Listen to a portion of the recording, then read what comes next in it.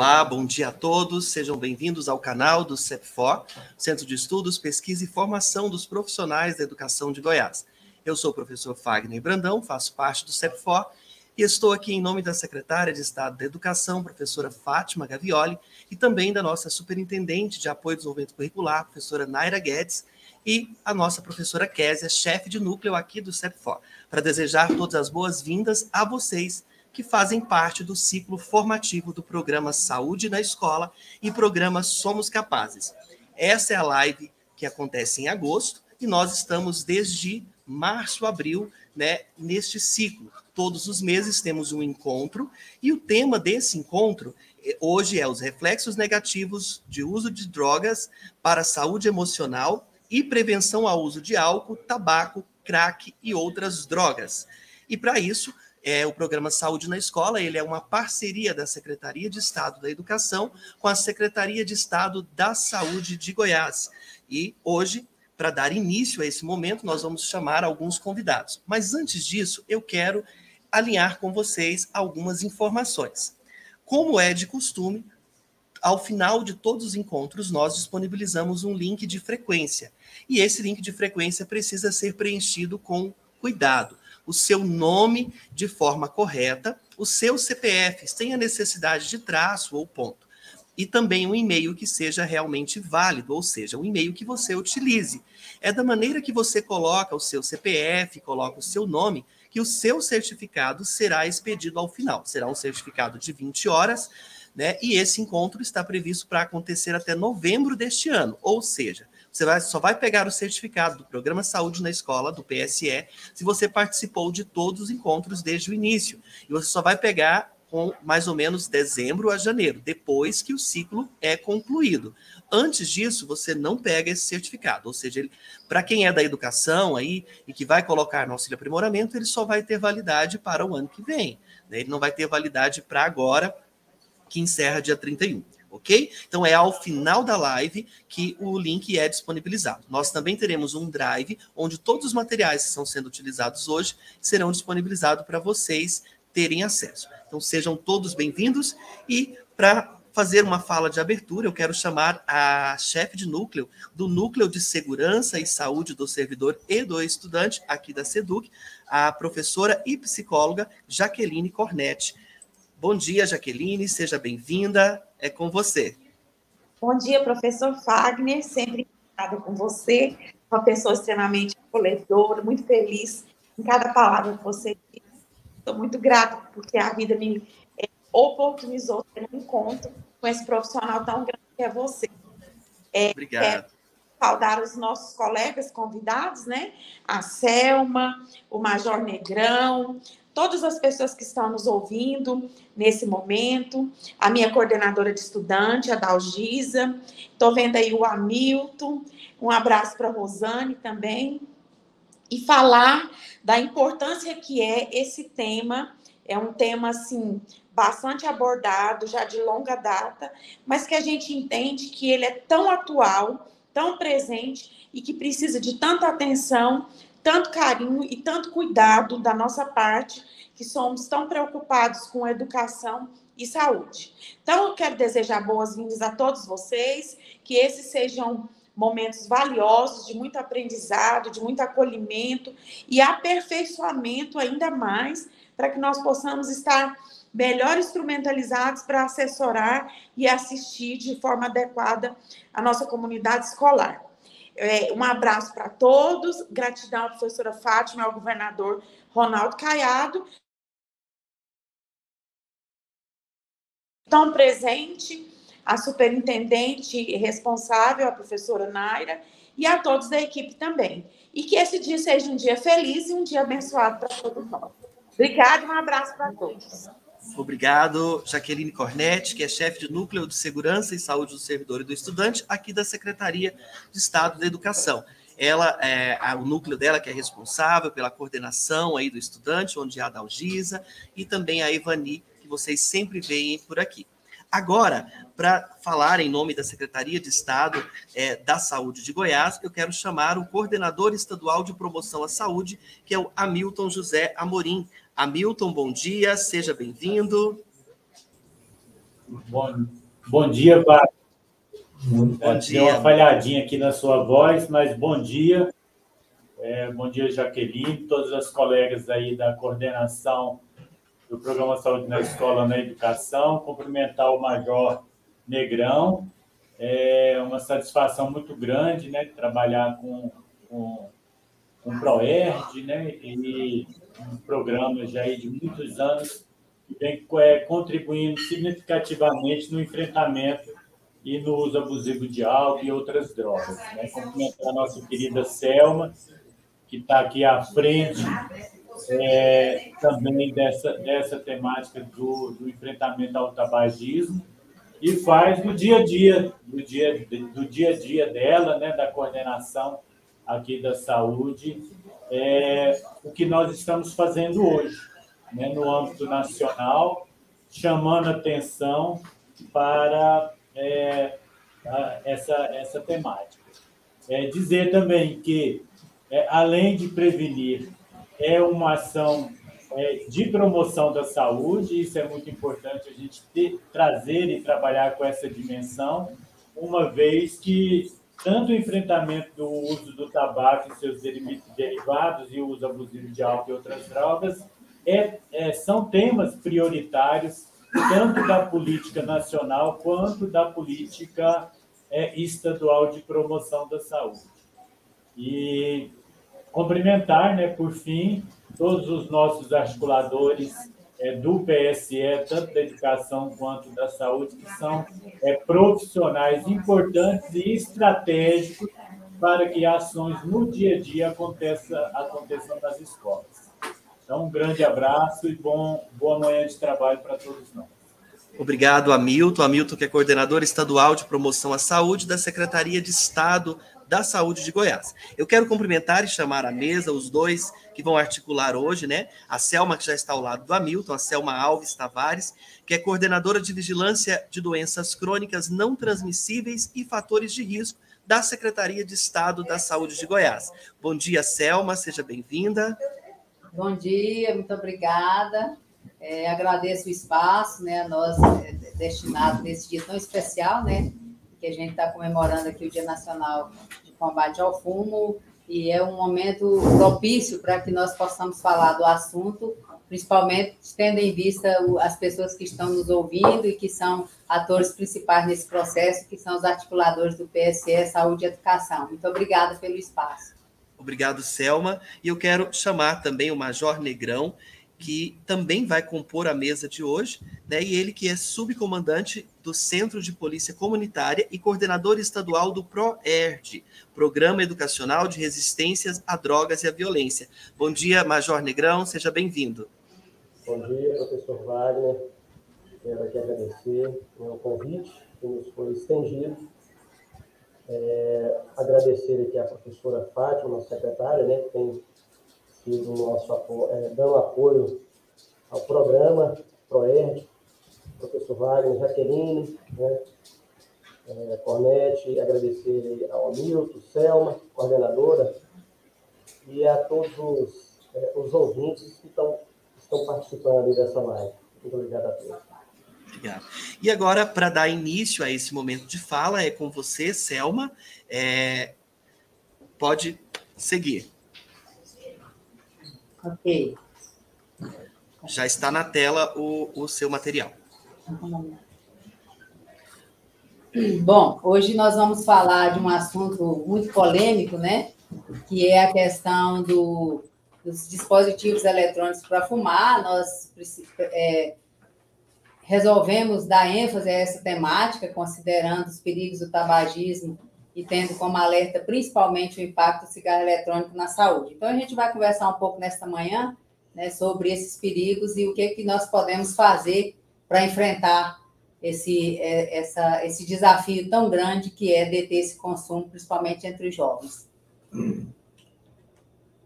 Bom, a redução da prevalência de fumantes, é, nós temos em Goiás o, a coordenação de controle de tabagismo, que tem como principal objetivo a prevenção da iniciação e a cessação de fumar.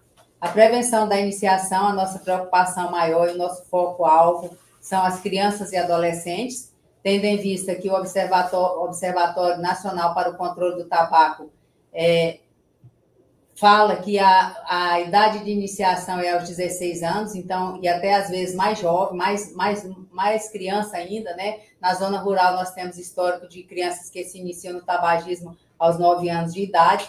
Então, esse é o nosso público-alvo, que é tão fundamental para não é, iniciar a, o tabagismo.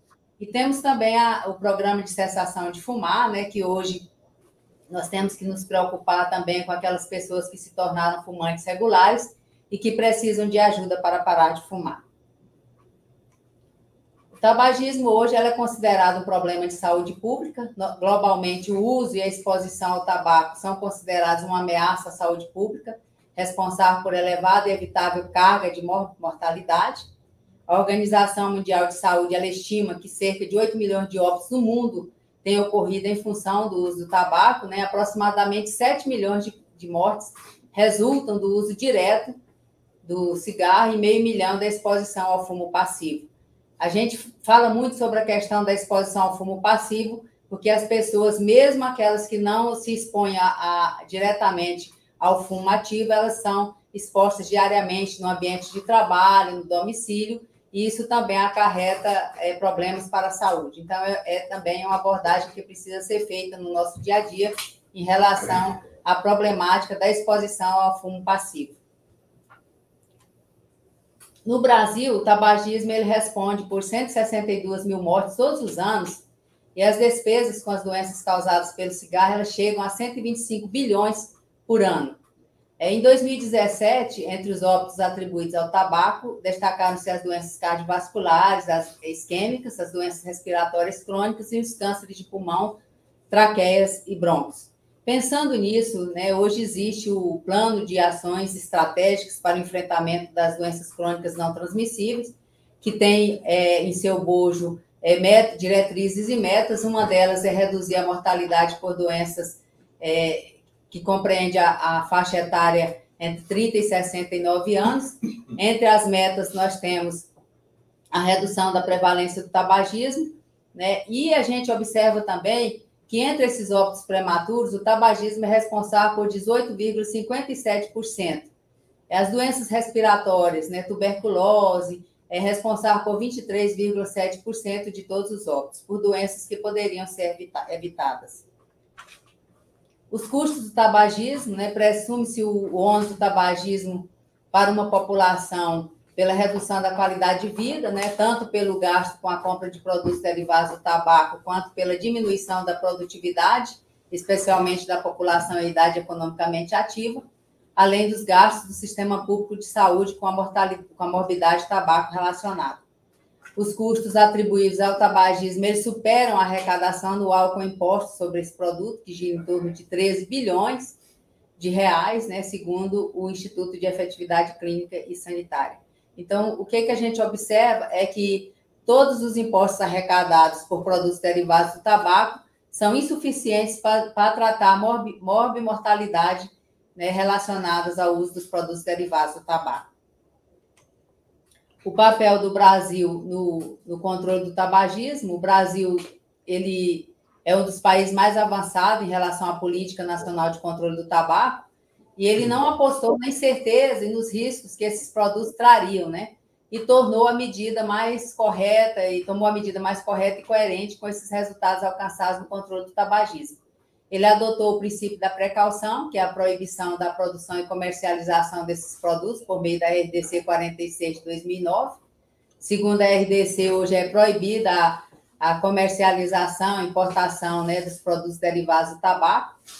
As alegações da indústria do tabaco para mudar a resolução não se sustentam. O Brasil tem demonstrado a queda consistente da prevalência de tabagismo desde 1989 graças a um conjunto de medidas, que foi a proibição da publicidade, patrocínio, a promoção de produtos de tabaco, as advertências sanitárias nas embalagens, a lei antifumo, que contribuiu muito também para reduzir a exposição ao tabagismo passivo, que foi um grande avanço também na diminuição da prevalência do tabagismo, e a oferta de tratamento e outras medidas. Hoje, existe o Tratado Internacional de Saúde Pública, que é a Convenção Quadro para o Controle do Tabaco, e ela traz as diretrizes em relação ao controle e a diminuição da prevalência no Brasil e no mundo.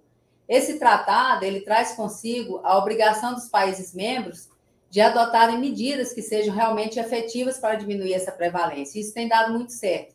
Algumas medidas, como as que eu citei agora, estão lá no arcabouço da Convenção Quadro para o Controle do Tabaco e que os países têm assumido esse compromisso de fazer isso os desafios para o controle do tabaco. Né? O Brasil alcançou uma das quedas mais significativas da prevalência de tabagismo no mundo, uma queda de quase 70% entre adultos com idade até 20 anos, de 90 a 2017, né, de 35,3% para 11,3%.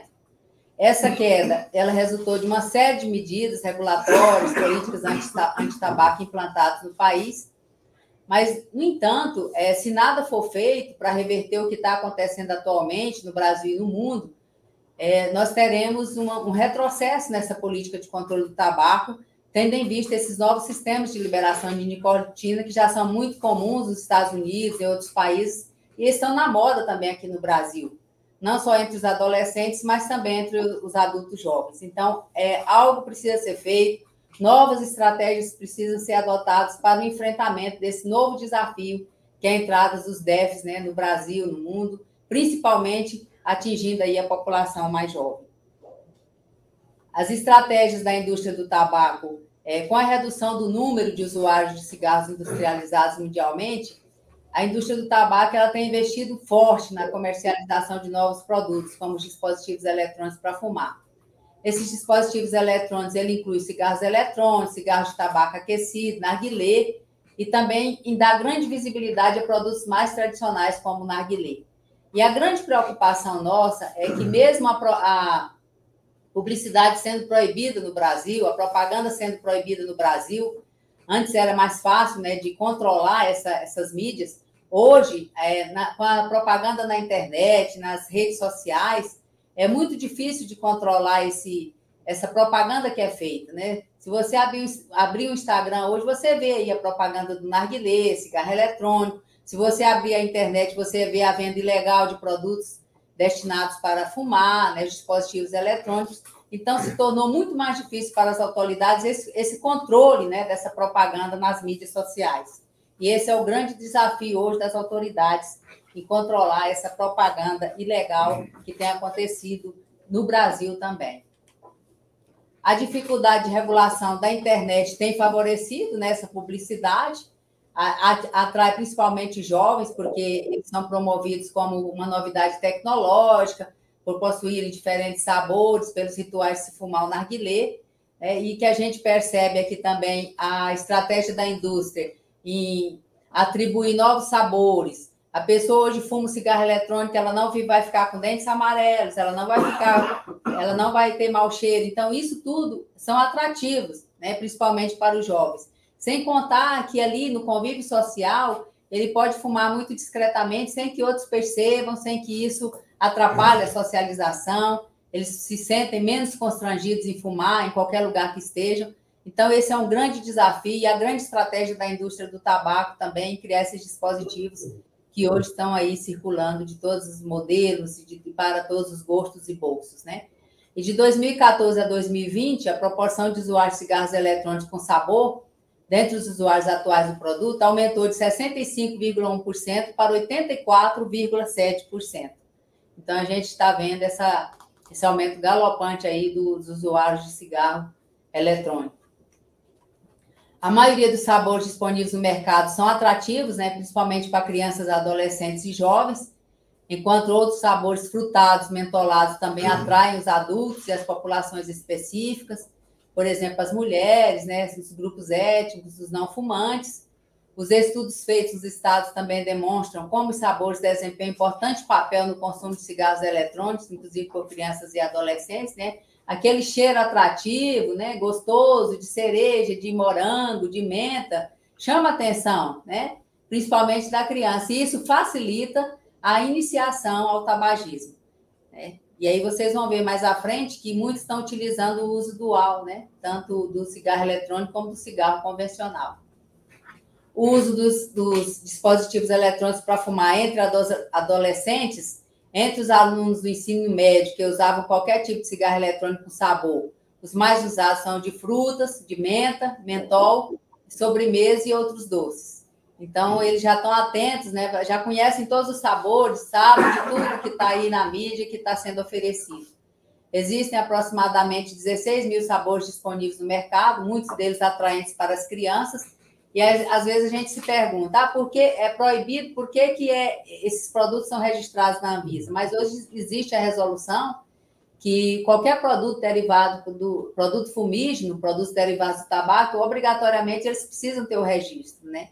E isso, de alguma forma, é, a Anvisa não dá aval para, para a comercialização, mas isso, de alguma forma, contribui para que a indústria é, cada vez mais libere esses, esses dispositivos aí no mercado, né? E isso facilita, consequentemente, o acesso, né? Embora o acesso ao cigarro eletrônico ele seja é, um pouco mais caro, né? O cigarro convencional é de fácil acesso, mas o cigarro eletrônico também eles, eles estão investindo também em oferecer dispositivos mais baratos, né, para todos os bolsos.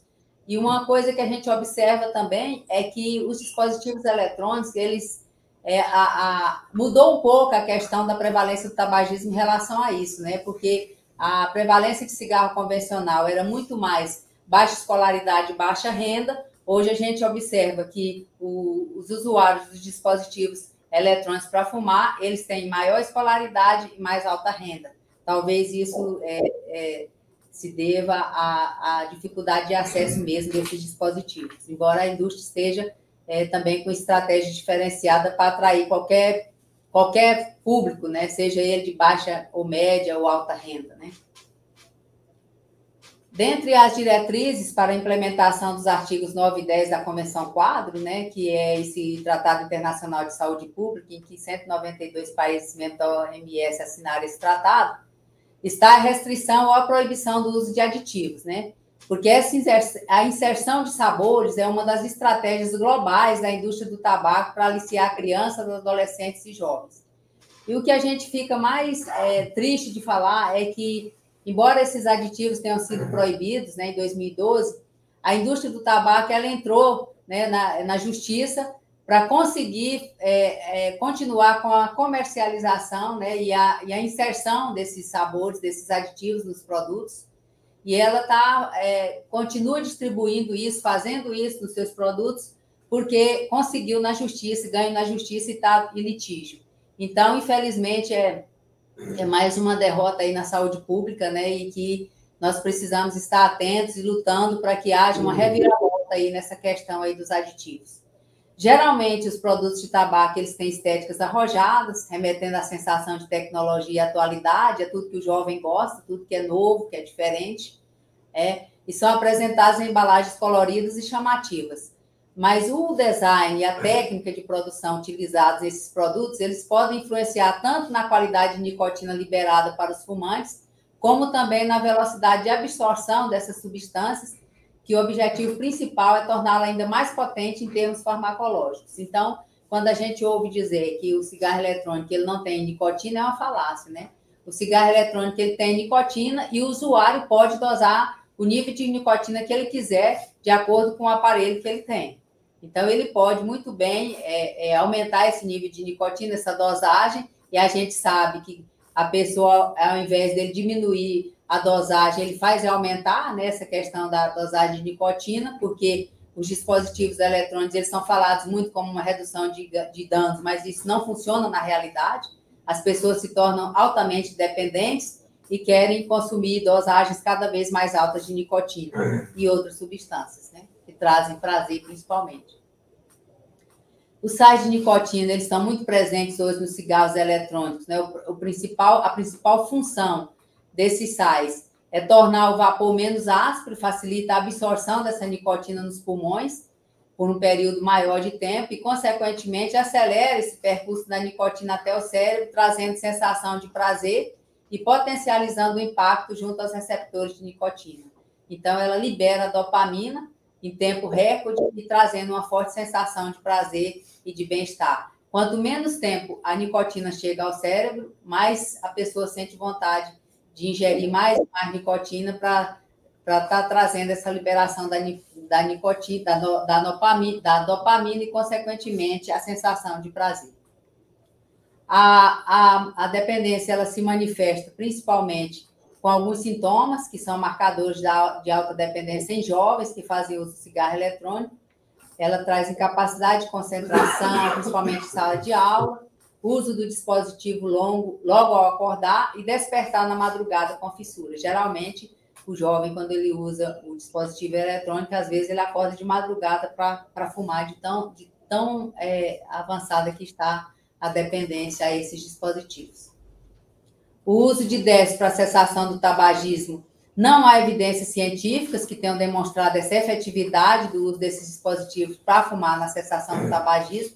Na prática, o que se tem observado é que o inimigo ele segue tabagista de novos produtos do tabaco em percentual significativo e se tornam fumantes duais de, de ambas as formas de tabaco. Então, o que, é que a gente observa na nossa rotina, no dia a dia, é que as pessoas que fumam cigarro convencional passam a fumar também o cigarro eletrônico, pessoas que nunca fumaram passam a usar o cigarro eletrônico e assim sucessivamente. E vai acontecendo todo esse ciclo vicioso aí em torno da, do uso dual, tanto do convencional como do cigarro eletrônico. É, essa é uma notícia que saiu recentemente, agora, dia 23 de agosto. É, um, um, jovem nos Estados Unidos com o pulmão danificado pelo uso de vape. Hoje a gente já conhece a EVALE, que é uma doença, uma lesão pulmonar causada pelo uso de, dos dispositivos eletrônicos para fumar. Ela foi identificada em 2019 nos Estados Unidos da América. E é muito comum a gente ver notícias assim de jovens que têm problemas sérios de saúde, até óbitos já aconteceram em decorrência do uso de cigarros eletrônicos. Hoje nós temos os grandes desafios né, para o controle desses dispositivos eletrônicos para fumar. A primeira coisa é a regulamentação, que é insuficiente. Infelizmente, é preciso que haja avanço nessa regulamentação, principalmente considerando a grande estratégia e o, e o lobby junto ao Congresso da Indústria do Tabaco, a publicidade e o marketing enganosos, né? É, tudo que se publica a respeito, inclusive formadores de opinião que são financiados pela indústria do tabaco para publicar artigos né, de é, é, falaciosos acerca da, da não da negação de que os dispositivos eletrônicos para fumar não fazem mal à saúde, que pelo contrário eles ajudam na cessação, o uso duplo, né, como eu falei agora mesmo, e o uso principalmente entre os jovens, que é a faixa etária que mais tem consumido cigarros eletrônicos.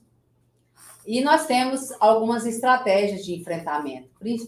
Primeiramente, a regulamentação, que ela precisa ser abrangente. Ela, ela, a regulamentação abrangente ela pode desempenhar um papel importante na redução desse uso e na prevenção e iniciação, principalmente entre os mais jovens. A educação pública, né, ações educativas, principalmente nas escolas, é, e eu acho que esse é um momento é, muito importante, esse que a gente está falando aqui agora, e que a gente precisa orientar a população, sensibilizar os formadores de opinião em relação a, a tudo que se diz respeito aos malefícios do tabagismo, seja ele é, através do uso do cigarro convencional do uso do cigarro eletrônico. As restrições de marketing, né, principalmente em meio de comunicação social e outros canais de, de marketing, nós precisamos estar atentos a isso, rebater essa questão, principalmente nas mídias sociais o tratamento para acessar a ação, ampliar o acesso por meio do aumento da, da oferta, né? Hoje já existe no Brasil, no SUS, na rede SUS, o tratamento, a oferta de tratamento ao usuário tabagista. É, em Goiás, nós já temos hoje 292, aliás, 192 unidades atendendo efetivamente o usuário tabagista.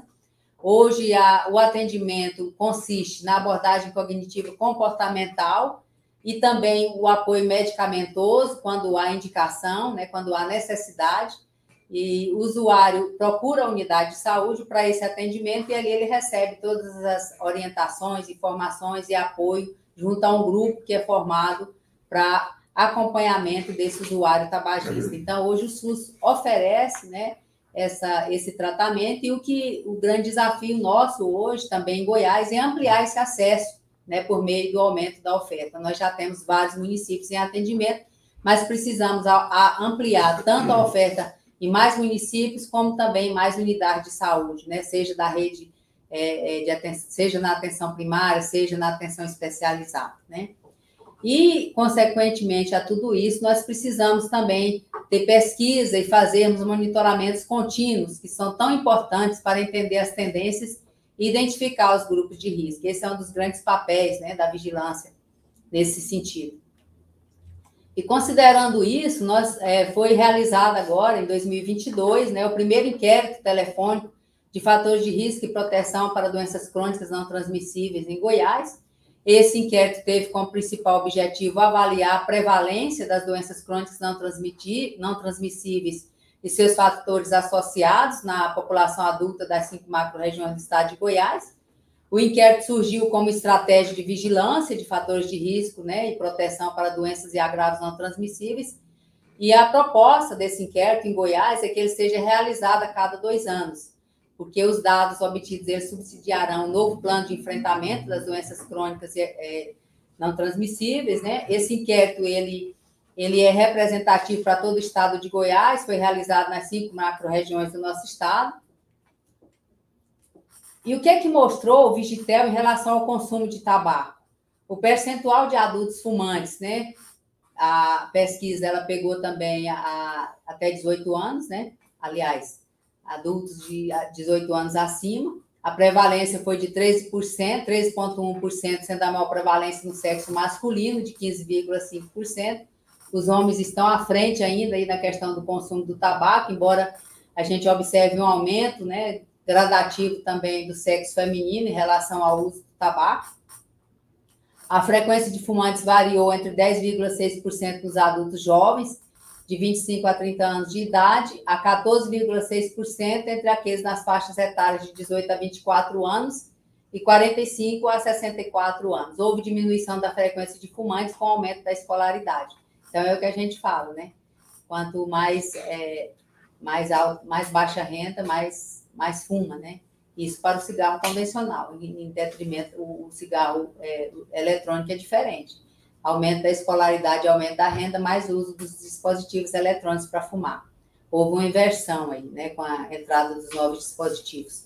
O percentual de adultos, né, acima de 18 anos, que usam aparelhos eletrônicos para fumar ou vaporizar, foi de 4,6%, sendo a maior prevalência na faixa etária entre 18 a 24 anos, 16%, daí o grande desafio nosso, né, de abordar esses jovens.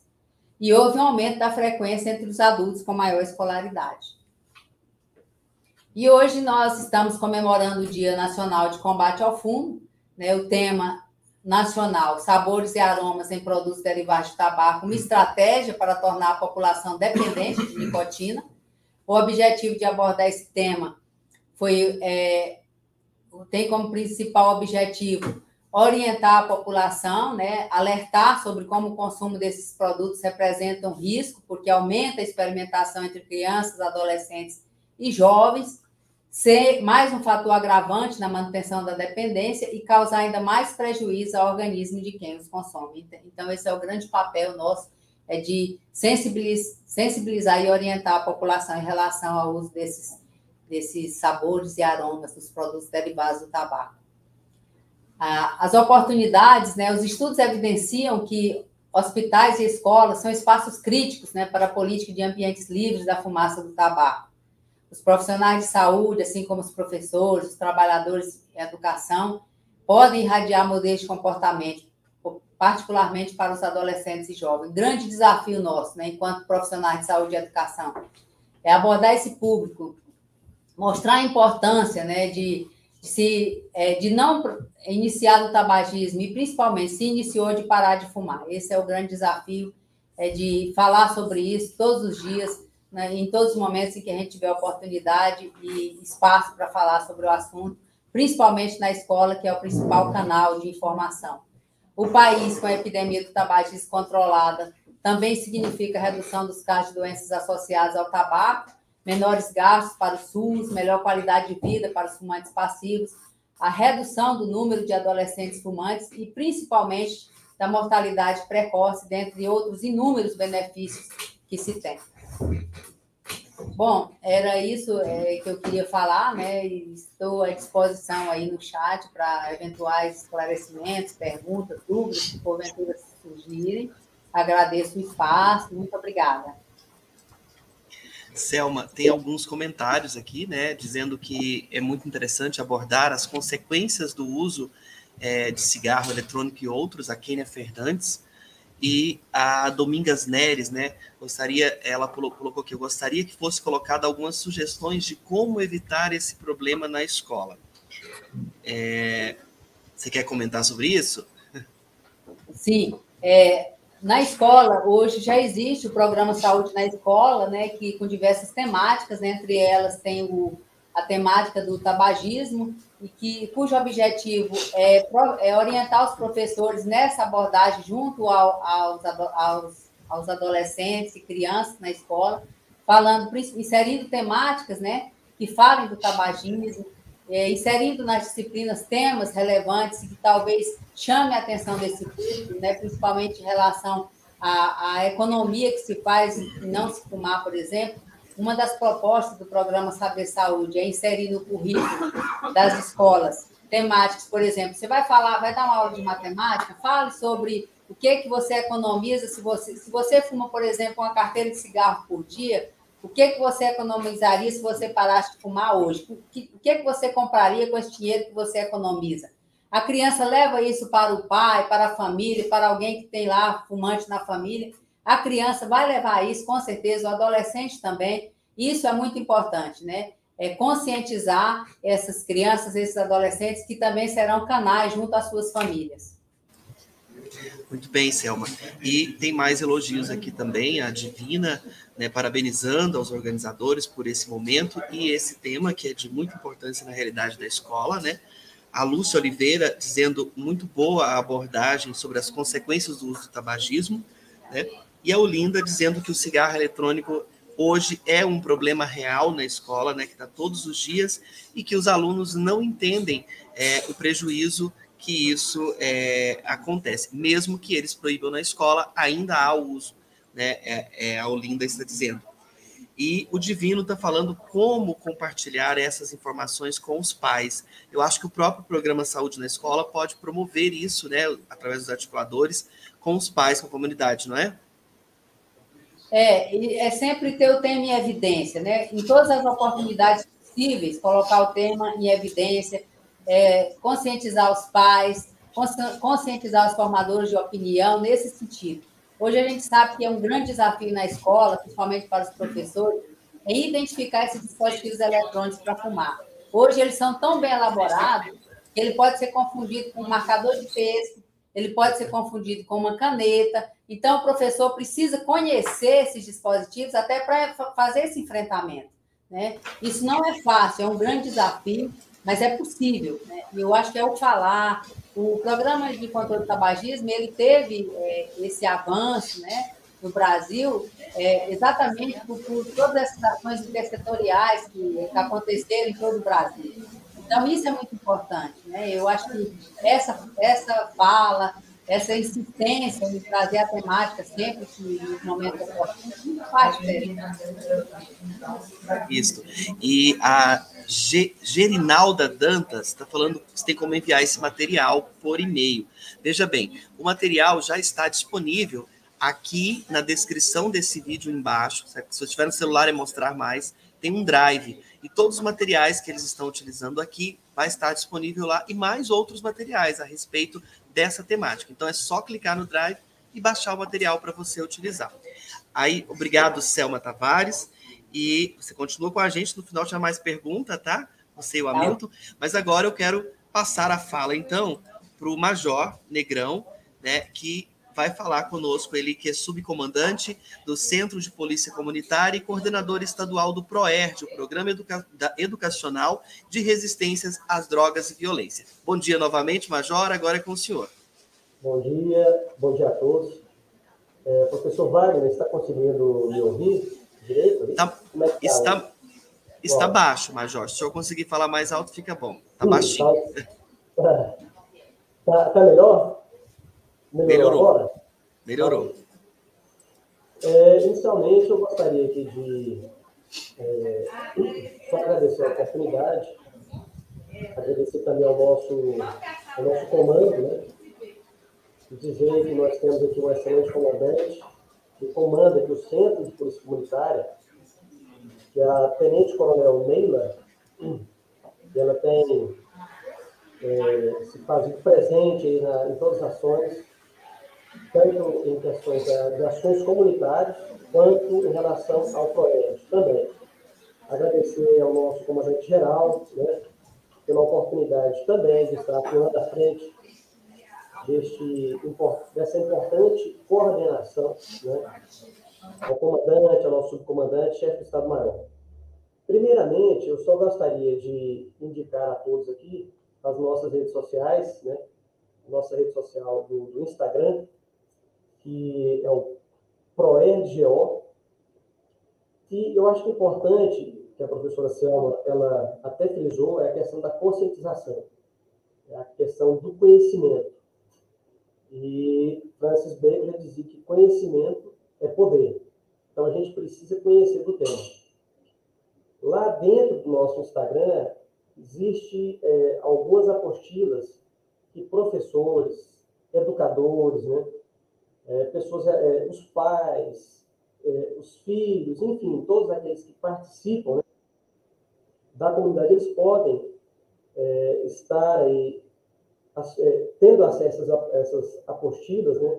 como a cartilha como é, mudando comportamentos, droga, cartilha para pais de crianças, às vezes os pais não sabem lidar com o tema em relação às crianças e nós temos essa cartilha para orientar né, os pais. Nós temos a drogas, cartilha para pais de adolescentes, que hoje é, não é fácil né, lidar com, com adolescentes, e a gente tem que saber como lidar com os adolescentes, né? principalmente os adolescentes que estão nessa fase de transição. Né? É, drogas, cartilha para educadores e fé na prevenção, conversando sobre drogas com cônjuges. É só acessar lá ao, no Instagram do ProERD, lá na bio, né? e todos terão acesso a essas cartilhas, que é muito importante, eu acredito, né? Vai servir é, de apoio, né? Agora, Jó, coloquei aqui embaixo o site e o Instagram e lá no ah, chat também para o pessoal seguir, tá? Maravilha. É, para iniciarmos aí essa conversa, a professora Selma, ela falou assim, de, com bastante propriedade em relação aos efeitos né, das drogas eu acho que essa é, conscientização é muito importante. E aqui, como representante da, da segurança pública, eu não poderia deixar de mencionar aqui em relação à questão da segurança né, em si. Porque as drogas ela está diretamente relacionada à segurança. E o artigo 144 da Constituição Federal diz que a segurança pública é dever do Estado, direito e responsabilidade de todos e é exercida para a preservação da ordem pública e da incolumidade das pessoas e do patrimônio. E nós vemos que a droga está diretamente relacionada aí à questão da segurança. E é uma segurança compartilhada, na verdade. Por isso que nós estamos aqui e eu agradeço a oportunidade de a gente fazer essa, essa parceria, né? Na verdade, existe essa parceria entre diversos atores que trabalham de forma colaborativa para tentar resolver vários problemas que as drogas causam, né? tanto na sociedade em si, mais especificamente no seio familiar e dentro das escolas. Ah, lembrando que a segurança pública ela tem um papel também de, de reguladora dos comportamentos desviantes, né? E a lei ela nos dá essa prerrogativa de trabalhar. Então nós trabalhamos, é claro, também dentro da segurança pública no que tange às questões de repressão, né, atividade repressiva, que não é aqui é, um objeto né, da, da nossa fala, da nossa conversa, mas é importante a gente passar aqui de forma bem assim é, superficial e dizer que hoje no estado de Goiás nós temos uma polícia bastante atuante, né, que trabalha dioturnamente para combater e diga-se de passagem que não é uma guerra, porque existe essa narrativa, uma falácia que fala-se sobre guerra às drogas. Na verdade, quem está é, nessa guerra são os tráficos, né? os traficantes que têm guerra por territórios, né? juntamente com milícias, etc. A segurança pública ela combate, ela está dentro do seu papel constitucional, né? de trabalhar na segurança pública em conjunto com outros órgãos né? e outras entidades. Então, dentro da segurança pública, o nosso Estado hoje combate dioturnamente o tráfico de drogas e todos os demais crimes que decorrem é, dessa problemática da droga. Então, nós temos a droga, ela é um, um mal que atinge a sociedade, que atinge a família, e junto com as drogas, elas trazem umas consequências deletérias né, para a vida de quem usa, e não só para quem usa, para aquelas pessoas também que estão ali né, é, próximas da, da, do usuário ou do traficante. Exemplo, por exemplo. Major, sim? desculpa interromper o senhor. O pessoal está colocando no chat que o áudio ficou ruim, está muito baixo. Caso o senhor consiga falar um pouquinho, isso, mais perto do microfone, mais alto um pouquinho, tá? Aí, obrigado. Ah, melhorou agora? Eu acredito que tenha melhorado, né? Então, nós acreditamos que, além da, dessa atividade repressiva, é o que nós vamos chegar lá, tem a atividade preventiva, que é muito importante também. Mas dizer que nosso Estado é atuante na apreensão de drogas, na prisão de traficantes, de pessoas que estão aí perturbando a paz e a estabilidade da segurança pública. E é importante também ressaltar aqui que para que nós tenhamos um estado de paz, de espírito, de estabilidade na sociedade, na comunidade, nós precisamos, a professora Selma, ela falou do ciclo vicioso né, das drogas, né, desse comportamento viciante, mas aqui eu vou falar da segurança pública, porque nós também temos o ciclo virtuoso e o vicioso da segurança pública. Dentro do ciclo virtuoso da segurança pública, a, todos os atores né, responsáveis pela segurança pública têm que trazer a segurança, a segurança aos cidadãos. E essa segurança, ela gera estabilidade na comunidade. Quando as pessoas elas se sentem seguras, se sentem estáveis, elas começam a adquirir propriedades, porque elas se sentem seguras. E elas sabem que essas propriedades elas estão garantidas que ninguém vai roubar delas essas propriedades, por conta da segurança. E a propriedade, ela gera desenvolvimento. Então, é um ciclo virtuoso da segurança. Por outro lado, nós temos o ciclo vicioso, e esse ciclo vicioso já começa com a insegurança. Então, quando nós temos dentro de uma sociedade a insegurança, ela por si, ela gera a desestabilidade. Porque as pessoas não conseguem elas não têm paz de espírito, têm suas residências furtadas, seus objetos furtados, celulares furtados.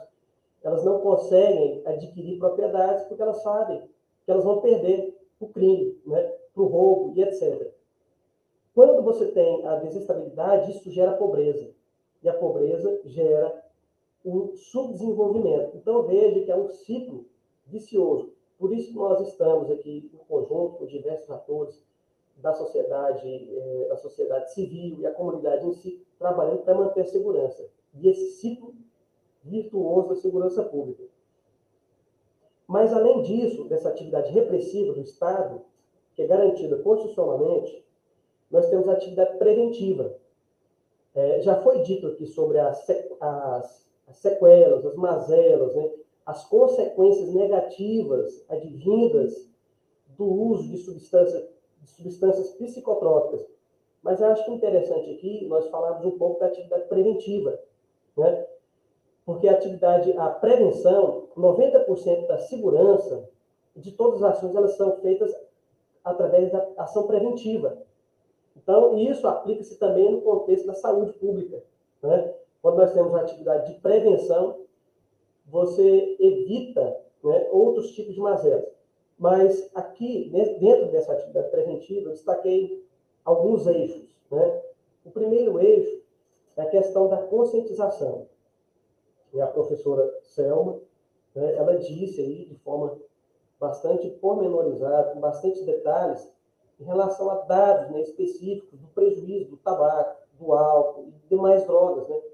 E há uma narrativa falaciosa em relação à questão do vape, Inclusive, lá na Inglaterra, eles estavam oferecendo esse cigarro eletrônico para é, as pessoas que tinham dependências né, com os cigarros tradicionais, ou seja, eu, eu não entendi essa lógica de você oferecer um vape que você tem é, ali em termos de percentual, ou comparativamente, é como se você pegasse 10 cigarros tradicionais e colocasse tudo no seu produto.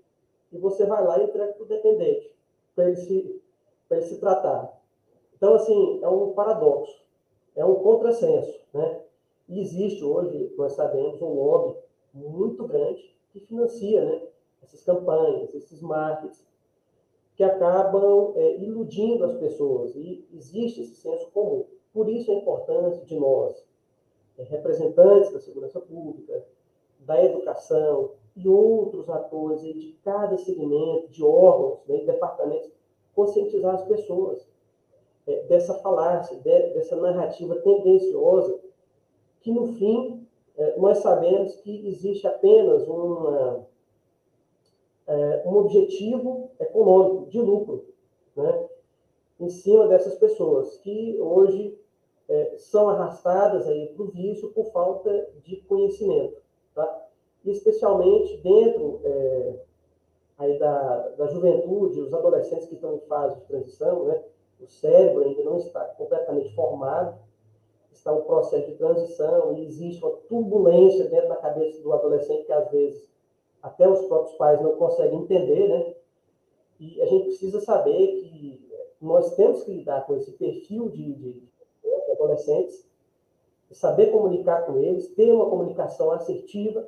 Os pais precisam identificar quais os fatores de risco, os fatores de proteção e trabalhar dentro desse viés, dentro desses eixos.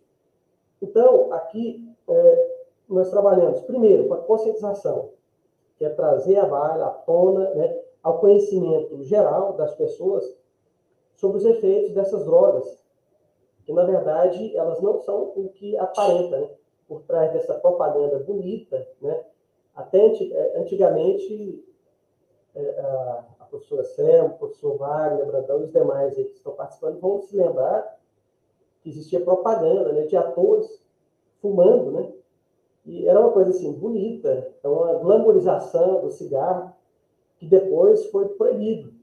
Então, quando aparecia propaganda de de bebidas sempre estava associado a, mulheres né, seminuas, etc., tentando colocar na cabeça do consumidor uma coisa bonita, sendo que, na verdade, aquilo, aquele produto ele é altamente nocivo, deletério à saúde.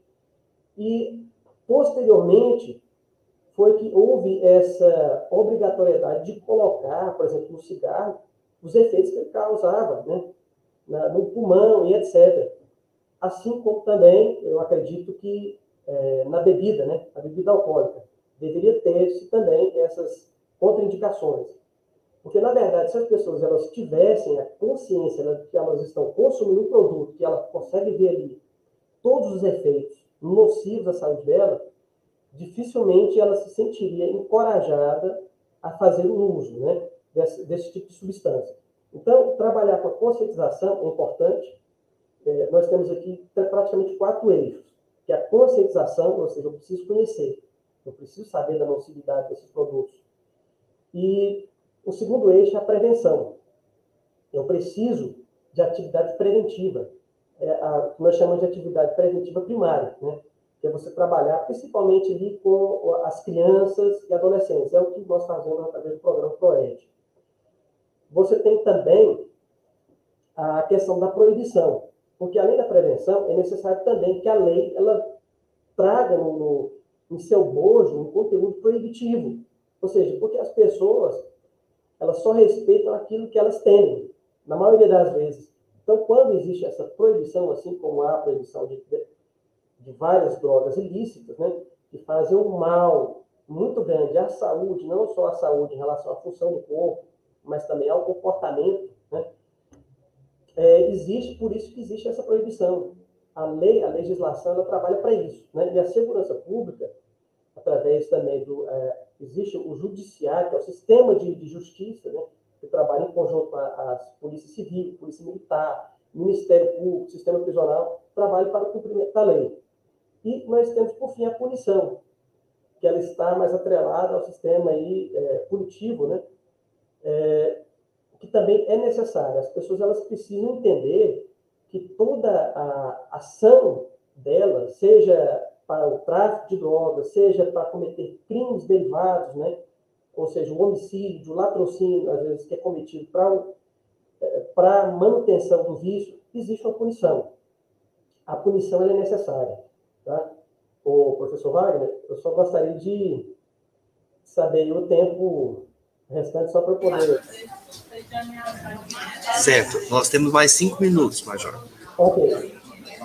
Então, para completar o raciocínio, é importante essa questão da conscientização. E é praticamente só falando um pouquinho em relação à classificação das drogas. Nós temos as drogas depressoras do sistema nervoso central, porque é, justamente é, dessa preocupação né, com o não uso e o não consumo da droga, porque a droga ela trabalha justamente no cérebro, ela trabalha no sistema nervoso central. Então, nós temos praticamente três é, tipos de drogas. Né? As drogas depressoras do sistema nervoso central, é, nós temos aí, por exemplo, as bebidas alcoólicas, solventes, inalantes, os tranquilizantes, ansiolíticos, lembrando que é, as drogas são drogas lícitas e drogas ilícitas, né? E muitas pessoas utilizam também medicamentos, né? Como drogas também. É, calmantes, sedativos, ópio, morfina, xaropes, gotas para tosse, etc. Nós temos as drogas estimulantes do sistema nervoso central, que essa, é, nós temos aí a anfetamina, cocaína, o tabaco também, e as drogas perturbadoras do sistema nervoso central, que são a maconha, é, cogumelos e plantas alucinógenas, perturbadoras, alucinógenas, sintéticos, o êxtase e demais drogas. É, é interessante que a, a, as pessoas que estão aqui assistindo, elas entenderem que a droga ela tem um efeito altamente nocivo, né? que geralmente as pessoas elas não têm consciência né, do, desse abismo que, na verdade, é, está por trás das drogas. A pessoa que ela entra nesse mundo das drogas, é claro que há recuperação. Existem pessoas que conseguem é, se desvencilhar e sair né, do mundo das drogas. Só que é muito difícil. Por isso nós trabalhamos com a prevenção, trabalhamos juntamente com as crianças, que são o futuro, né? e trabalhamos também com os adolescentes. E dentro da prevenção, é importante ressaltar aqui que nós temos diversos projetos e programas que trabalham justamente nesse eixo da prevenção. Ou seja, nós trabalhamos com o PROERD, que é um programa é, educacional de resistência às drogas, é um programa que já vem de longas datas, né? Aqui, por exemplo, em Goiás, ele foi implantado em 98, ou seja, ele faz 25 anos de existência, o programa. Ele iniciou lá nos Estados Unidos em 83, né? Nós temos o, pro, é, o programa da é, Polícia Mirim, que trabalha também com as crianças, ensinando civilidade, educação moral e cívica, etc., é, ensinando valores. É, nós temos palestras, o programa Saúde na Escola, que foi dirigido pela, professora Selma, né? Nós temos as palestras reflexivas, essas palestras reflexivas são feitas no âmbito já é, da justiça, né? para aqueles que, os usuários que são aí encaminhados pela justiça, né, a esse tipo de tratamento. Então, é, só para finalizar a minha fala, eu gostaria aqui de rapidamente dizer que nós precisamos, principalmente com os pais, trabalhar essas questão, as questões referentes aos fatores de risco e de proteção. Eu acho que é muito importante, eu quero fechar minha fala aqui, nesse aspecto. Aos pais, é aprender a identificar as necessidades dos filhos. Os adolescentes, principalmente, eles passam por uma fase muito é, turbulenta, a nível mesmo de, é, de, de, de, consciência em si. Né? Então, esses fatores de proteção que nós precisamos aqui elencar e trazer à baila, é, os pais eles precisam se envolver com a vida do filho, saber quais são as necessidades dos filhos, e se envolverem mais nas atividades dos adolescentes, embora a gente saiba os adolescentes eles preferem, e nessa data eles vão mantendo cada vez mais o distanciamento dos pais, né? Porque na infância, né, eles têm esse apego com os pais, é natural que na adolescência eles desapegam, porque vão estabelecendo outras redes de relacionamento. Mas os pais eles precisam ter esse contato, se envolver na vida do filho. Ter sucesso nas atividades escolares, acompanhar os filhos né, nessas atividades escolares, porque a, a escola é um ambiente propício para trabalhar essa questão da educação e da formação do aluno e da, do adolescente. O estímulo dos pais para o desenvolvimento das habilidades sociais do filho, por isso que trabalha tanto é, na questão do PROERD, com as habilidades é, emocionais do, do, do, adolescente, ensinar o autocontrole, a autoconfiança, a companhia de amigos, né, que, usa, que não usam drogas, é importante, o vínculo, por exemplo, com organizações religiosas, seja lá qual for, mas é importante que ele tenha esse vínculo para ele é, cultivar os valores, crenças que são essenciais para a construção da vida adulta do adolescente. O vínculo, por exemplo, a adoção de normas convencionais quanto ao uso de drogas, e estabelecer também essa autoridade paterna, a autoridade também dentro da escola, que é muito importante. E aqui agora, do outro lado, nós temos os fatores de risco, que é importante também que os pais, os educadores, os policiais, todos aqueles que lidam né, com adolescentes, eles precisam conhecer e detectar. Ou seja, um aluno que tem uma timidez excessiva, é importante trabalhar também com a questão da autoestima do adolescente, né? para que ele não seja coaptado pelas drogas, porque a droga também estimula o adolescente, é uma, aliás, é uma fonte onde o adolescente, quando ele não encontra é, nos pais ou em alguém, ele vai procurar onde? Nas drogas. Né? Essa estimulação. O comportamento agressivo frequente também é um fator de risco. Convívio com amigos que fazem uso de drogas, ou seja, é justamente aquela questão das más amizades corrompem os bons costumes. Isso é um fator de risco que os pais precisam também ter esse olhar de cuidado, a percepção de aprovação ao uso de drogas pela família, escola, amigos e comunidades, a falta de envolvimento entre pais e filhos, relacionamento familiar de baixa qualidade também influencia né, o adolescente a ingressar no mundo das drogas, a educação negligente, ou seja, às vezes o pai quer entregar na mão do professor toda a responsabilidade de educação, ou seja, a educação é compartilhada. Não é função do professor, exclusivamente, trazer essa carga de valores, toda essa educação. A educação também ela começa em casa, com os pais. E o primeir, a primeira referência que os filhos têm são os pais, ou seja, não adianta o pai falar para o filho que ele não pode fumar se o pai ele é um fumante compulsivo. Como é que ele vai falar para o filho que ele não pode beber se ele chega em casa alcoolizado, bate na mulher, espanca os filhos, etc. Ou seja, aonde está essa referência paterna, né? Isso é importante. A falta de autoridade dos pais também é um fator de risco. A falta de regras claras de condutas, ou seja, a criança, o adolescente, ela precisa ter um norte. Embora, às vezes, ela cria na cabeça dela essa auto, autodependência, essa autoconfiança, ela precisa de uma referência, ela precisa de regras claras, regras de condutas. Né? O baixo rendimento escolar, ou seja, é um fator de risco. O pai que acompanha e vê que o filho está com baixo rendimento escolar, ele vai procurar saber o porquê e o que, que está acontecendo ali. Né? Às vezes pode estar sendo aí um, essa lacuna, né? que o pai não consegue enxergar e antecipar-se né? É, situações que podem envolver o filho ao uso de drogas. Violências domésticas também, é um fator de risco, traumas na infância, etc. E eu gostaria também, é claro aqui, de, já de finalizando a minha fala, né, deixar aberto é, perguntas, né? Certo, Major, nós temos aqui algumas perguntas sim, eu vou fazer, o nosso tempo já está no limite, mas eu vou, vou tentar fazer aqui.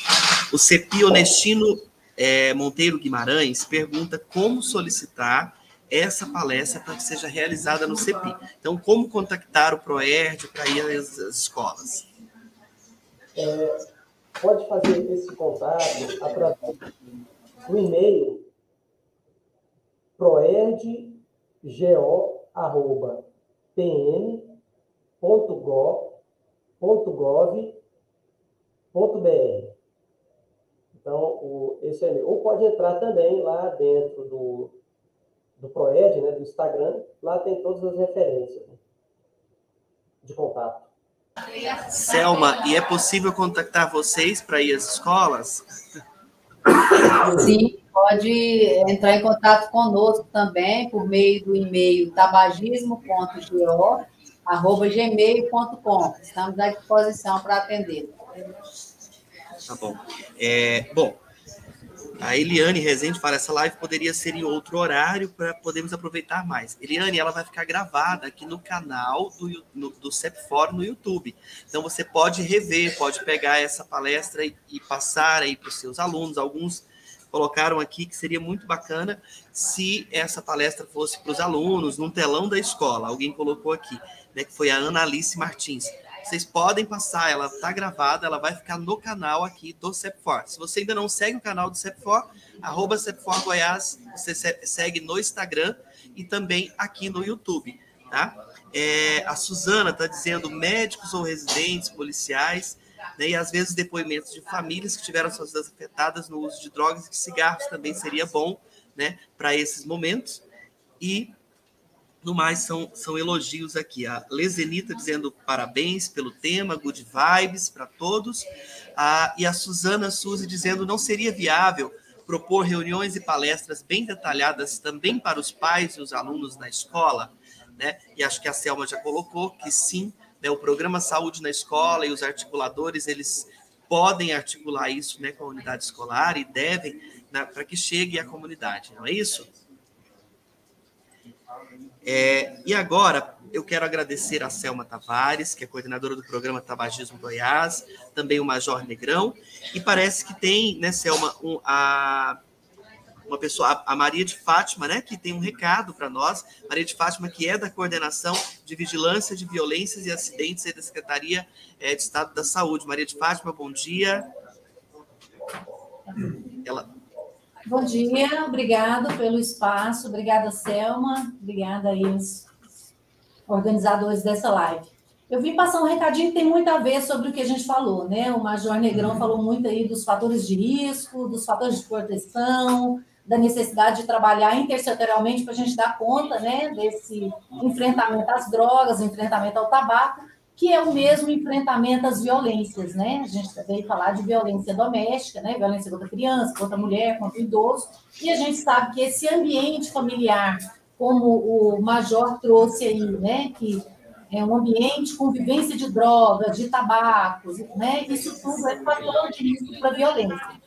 Então, eu gostaria de pedir aí os organizadores para colocar no chat o link. A gente, a Secretaria Estadual de Saúde, está disponibilizando um curso EAD, né, na modalidade à distância, com, com tutoria, gratuitamente para profissionais da saúde, profissionais da educação e da assistência social, justamente porque entende que a violência, da mesma forma que as drogas, tem que ser trabalhado de forma intersetorial. Então, a gente deixa aqui o convite para os profissionais, tanto de, da rede municipal quanto da rede estadual, profissionais de nível médio, profissionais de nível superior, da educação, da assistência, da assistência social e da saúde, para se inscrever, fazer a inscrição. A inscrição está aberta até o dia 1 agora de setembro, sexta-feira.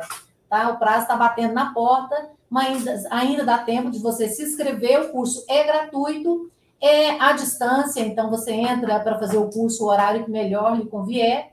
E é um curso que está bem interativo, assim, nós já estamos na segunda edição, a primeira edição nós temos muitos profissionais da educação fazendo um curso, é um curso que usa metodologias ativas, tecnologias educacionais. Então, eu gostaria de pedir para colocar o link, a gente colocou até o link de uma atividade, né? Depois vocês entrem e acessam para ver que é um, é um joguinho, né? A gente é, reforça o conteúdo através de jogos, então é uma metodologia bem bacana, o material didático está muito bacana.